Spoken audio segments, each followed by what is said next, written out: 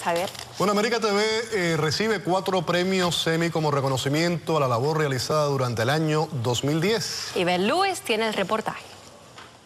Este fin de semana fue inolvidable para docenas de profesionales de la televisión. El motivo fue la ceremonia anual de los premios Emmys número 34 en el sur de la Florida. La familia de América TV también estuvo presente y fuimos honrados con cuatro estatuas. Nuestra periodista y presentadora Josie Galindo fue reconocida por su excelente trabajo en Los Exonerados, una serie investigativa sobre exconvictos que hoy están en libertad luego de que su inocencia fuese comprobada mediante pruebas de ADN.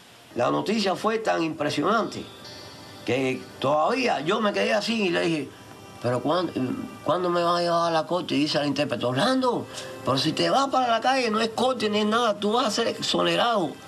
And I want to dedicate to all those people in prison that are innocent.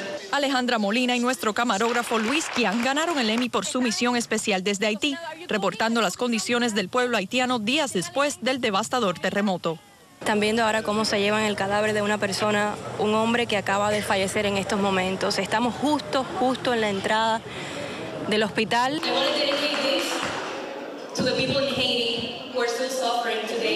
Yo doy muchas gracias a mi estación América TV por la oportunidad de cubrir Haití esta Nelson Bustamante, presentador de Minuto de Fama, ganó por su serie especial Sueños de Libertad, la cual destaca el tema de la travesía de los balseros cubanos.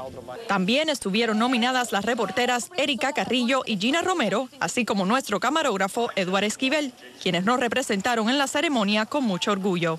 Muchas felicidades a nuestros ganadores y nominados por su cosecha este año. Nosotros seguiremos trabajando para obtener logros que compartimos con ustedes. Para Noticias 41, Ibel Luis, América TV.